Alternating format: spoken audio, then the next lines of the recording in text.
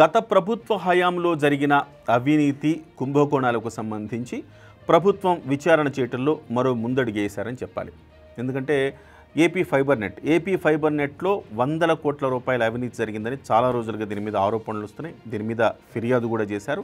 మొదటి విడత టెండర్లు అంటే మూడు వందల ఇరవై ఒక్క రూపాయలు మూడు వందల ఇరవై ఒక్క కోట్ల రూపాయలకు సంబంధించిన టెండర్లలో మూడు వందల ఇరవై ఒక్క కోట్లలో దాదాపుగా నూట ఇరవై రెండు కోట్ల రూపాయల అవినీతి జరిగిందనేది ప్రధానంగా అభియోగం. ఈ అభియోగం మీద పద్దెనిమిది మంది మీద కేసులు నమోదు చేశారు. ఈ పద్దెనిమిది మందిలో ముగ్గురికి నోటీసులు ఇచ్చారు. ఆ ముగ్గురు ఎవరంటే tender technical committee member Vemuri Harikrishna Prasad అలాగే ఇన్క్యాప్ ఎండి అంటే ఐఏఎస్ అధికారి K. Sambasivarao Terasoft MD Tummala Gopichand. ఈ ముగ్గురికి కూడాను నోటీసులు ఇవ్వడం జరిగింది సిఐడి.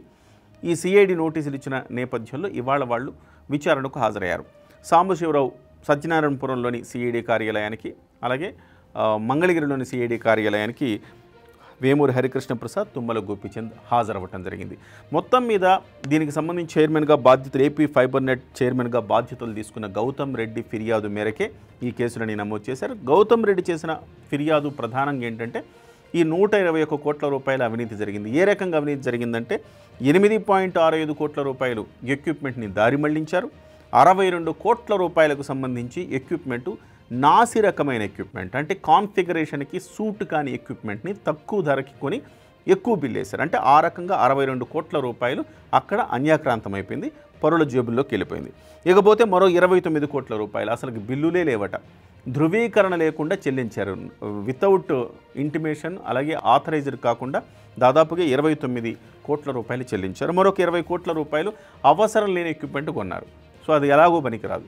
సో ఈ రకంగా దాదాపుగా నూట ఇరవై ఒక్క కోట్ల రూపాయలకు అవినీతికి పాల్పడ్డారు అనేది ప్రధానంగా ఆయన చేసిన ఫిర్యాదు. ఈ ఫిర్యాదు మేరకు పద్దెనిమిది మంది మీద కేసు నమోదు చేయడం జరిగింది. గతంలో కూడాను ఈ స్పేస్ పవర్ సిస్టమ్స్ అనే కంపెనీ ఈ టెరాసాఫ్ట్కి అవకాశం లేదు అర్హత లేదు. అలాంటి కంపెనీకి ఎలా ఇస్తున్నారని రెండుసార్లు ఫిర్యాదు చేసింది.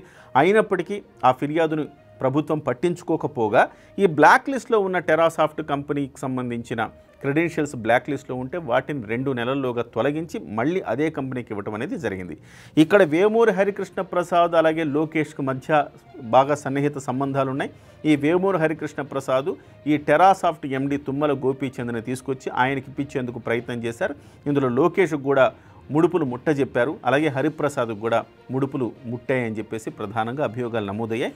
దీంట్లో మొత్తం అధికారులు ఉన్నారు.